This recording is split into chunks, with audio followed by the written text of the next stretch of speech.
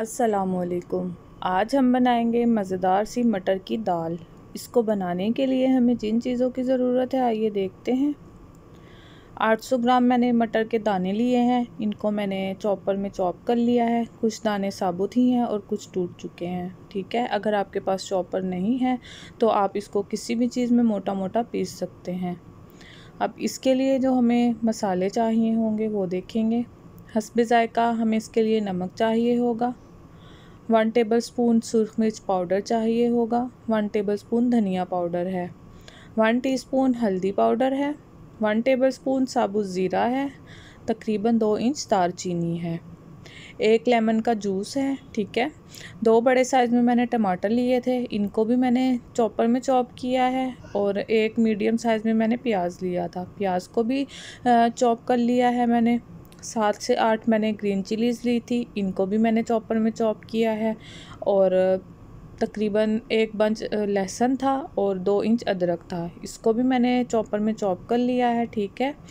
और अब हम इसको बनाने की तैयारी शुरू करेंगे। सबसे पहले मैंने एक पैन में ऑयल लिया था। ऑयल को मैंने जो है लो फ्लेम पर रखा हुआ था। ज़्यादा हाई हमने इसको फ्लेम पर नहीं रखना है, ठीक है? अब इसमें मैंने जो है प्याज डाले हैं चॉप किए हुए इसको मैं फ्राई करूँगी। बहुत ज़्यादा हमने इसका कलर जो है डार्क नहीं करना है। अगर हम इसका ज़्यादा डार्क कलर कर देंगे तो जो हमारी मटर की दाल है, उसका टेस्ट ख़राब हो जाएगा। ज़्यादा फ्राई करने से। अब ये देखिए इतना ही हमने इसको फ्राई किया है। थोड़ा सा इसका कलर चेंज हुआ है तो मैंने इसमें ज़ीरा और दालचीनी डाल दी है। ऑयल इस टाइम पे गरम था तो जो ज़ीरा और दालचीनी है उसको हम सिर्फ़ फोर्टी से फिफ्टी सेकंड के लिए ही फ्राई करेंगे। आ, ये सारा फ्लेवर अपना जो है ऑयल में छोड़ देंगे ठीक है? उसके बाद हमने तकरीबन इसको पकाते हुए एक मिनट हुआ था तो मैंने इसमें जिंजर गार्लिक डाला है, चॉप किया हुआ। इसको भी मैं एक मिनट के लिए फ्राई करूँगी। इसको भी ज़्यादा देर नहीं पकाऊँगी, ठीक है? इसको फ्राई करने से ये होगा कि जो इसका एक रॉ सा कच्चा सा फ्लेवर है, वो ख़त्म हो जाएगा, ठीक है? अब इसको पकाते हुए मुझे एक मिनट हुआ था तो मैंने इसमें जो हमने टमाटर चॉप करके रखे हुए थे फाइनली चॉप वो डाल दिए हैं इसमें। अब हम इसमें जो हमने मसाले लिए हुए थे, वो ऐड करेंगे। सबसे पहले मैंने जो है सुरख मिर्च पाउडर डाला है, ठीक है? इसके बाद मैंने इसमें धनिया पाउडर डाला है, हल्दी पाउडर डाला है और हसब ज़रूरत नमक डाला है।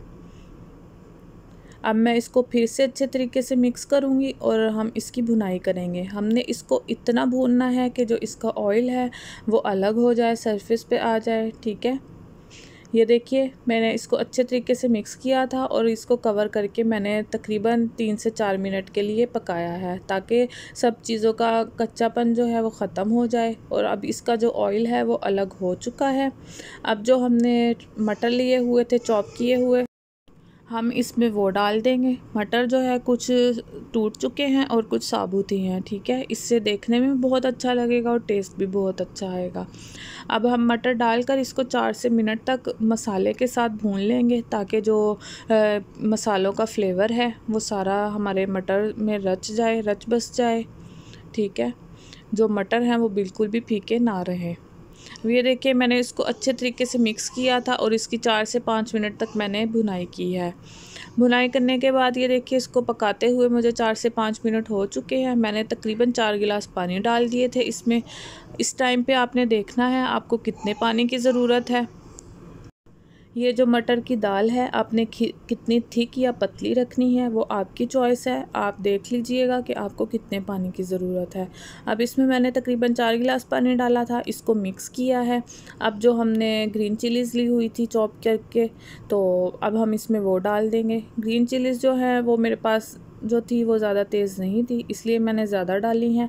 अगर आपके पास जो ग्रीन चिलीज़ हैं, वो ज़्यादा तेज़ हैं तो दो से तीन ही काफ़ी होंगी। ठीक है? अब मैंने इसको अच्छे तरीके से मिक्स किया है। मिक्स करने के बाद मैं इसको कवर करूँगी और लो फ्लेम पर तकरीबन थर्टी मिनट तक मैं इसको पकाऊँगी ताकि जो मटर हैं वो अच्छे तरीके से पक जाएँ और जो हमने इसमें पानी डाला है वो ड्राई हो जाए। अब ये देखिए, इसको पकाते हुए मुझे तकरीबन तीस मिनट हो चुके हैं। अब हम इसमें चम्मच चलाएँगे और देखेंगे कि हमारी जो मटर की दाल है, वो तैयार है कि नहीं। ठीक है, इस टाइम पे आप इसमें नमक चेक कर सकते हैं, क्योंकि नमक जो है, किसी भी खाने में कम हो, वो बिल्कुल भी अच्छा नहीं लगता है। मैं आपको ये टिप दूँगी कि खाना बनाने के बाद आप एक बार नमक ज़रूर चेक करेंगे, ताकि आपको पता चल जाए कि आपको नमक की ज़रूरत है या नहीं। अब इसमें मैंने जो है फ्लेम को ऑफ़ किया है लेमन जूस डाल दिया है, क्योंकि इसका फ्लेवर जो है, हमें टेंगी सा चाहिए। ठीक है। ये देखिए अब मैंने इसको अच्छे तरीके से मिक्स किया है और हमारी मज़ेदार सी जो मटर की दाल है, वो बनकर तैयार है। अगर आपको इसकी रेसिपी अच्छी लगी है तो मेरी वीडियो को आपने लाइक ज़रूर करना है और मेरे चैनल को सब्सक्राइब भी करना है। ठीक है, इसको मैंने ग्रीन चिलीज़ के साथ और लेमन के स्लाइसिस के साथ सर्व किया है। जो आप चाहें तो इसको रोटी के साथ बॉयल्ड राइस के साथ पूरी या पराठे के साथ किसी भी चीज़ के साथ इंजॉय कर सकते हैं। Thank you for watching Allah